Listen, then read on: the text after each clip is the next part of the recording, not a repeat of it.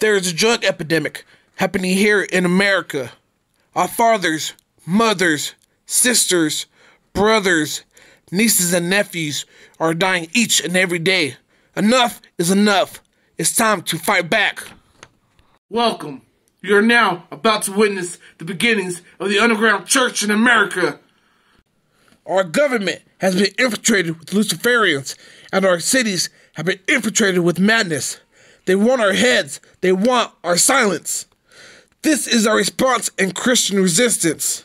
We are a select few of Christian soldiers, and we need to know are you down? And now for the minister. Super Soldier. Welcome back. hey, I got a quick scenario, couple scenarios for you. Okay, stay with me. Say somebody in the um, your community, um, a prominent member, you know, of uh, the community that everybody respects, looks up to. Um, maybe, maybe he's helped you out in the past, you know, and um, he has a real good name in the community, right? And um, in this scenario, okay, he gets uh, he gets kidnapped by some thugs, okay, and um, after he gets kidnapped, um, they identify the thugs and their hideout, and so um, in the community they start to form a posse, right? You with me? And um, they say, hey, you know what? This could be a mission that some people might not be coming back from. But you know, he's such a good guy, you know, and like I said, he's probably helped you out a time or two in the times past, right? You know, and so um, you know, some of some of us per adventure, right, would dare to die to save a prominent man from the community, you know, someone that's uh, people looks up to, you know, and um, you know, stick our neck out for somebody like that, right? Okay, so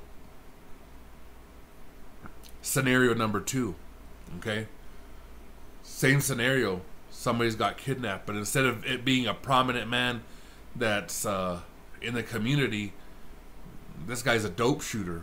Okay, he's a dope head, and um, he's uh, always causing problems in the community, starting fights. Um, as a matter of fact, you you suspect him of some stolen property, right? And um, he got took by the same thugs, right?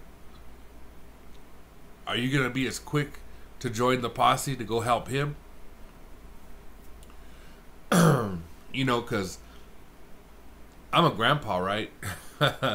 Here's my excuse, and I, I want to stay. Uh, I want to be able to to see my uh, grandkids, you know, grow up, you know, get married and possibly have kids of their own. You know, that would be something for me to see in my lifetime, you know, and um, like I said, this thug he was uh, causing uh, lots of problems. You know, a lot of people might say that you know he had it coming, right? So here we have two different scenarios. You know, with uh,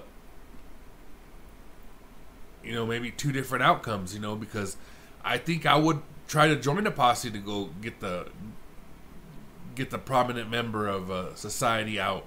You know, and I don't think I'd be able to join the posse to get the the the thug out. You know, I I'm just telling you the truth. You know, but do you know that that's not the way it works with God? Right. That even though we were still sinners, Christ died for the ungodly. That even though we're acting crazy, you know, at the end when he was hanging on the cross, he said, "You know what? But I'll do this. I'll do this." You know, and he did it for the ungodly so we will have a chance you know the people in power the luciferians that run the country now that are trying to split the country in half they wouldn't have a chance you know if we saw people the way god saw people and saw the value in people the way god sees the value in people if we loved one another they wouldn't have a chance because we would be united in love. If we loved one another, this is the most dangerous message on the internet today. Thank you.